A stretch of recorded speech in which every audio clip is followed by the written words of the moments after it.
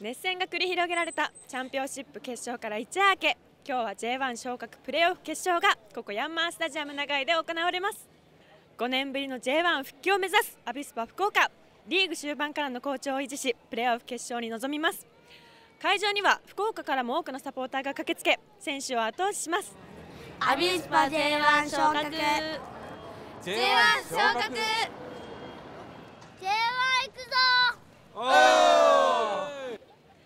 クラブの命運をかけた夢と絶望の90分が間もなく始まります。